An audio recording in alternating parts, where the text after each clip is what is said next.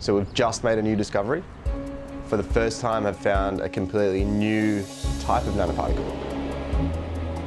Our nanoparticle technology can be uh, 100 times more efficient than conventional therapies. What that has the potential to do is revolutionise the transport of drugs.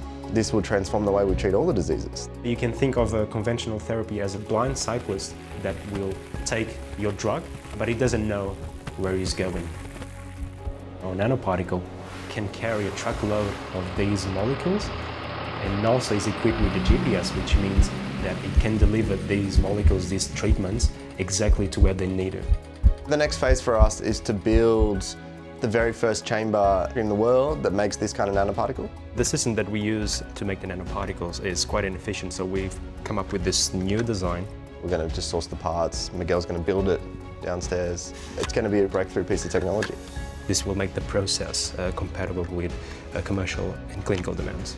It has the potential to change the way we treat all diseases and deliver all drugs. But we need your help.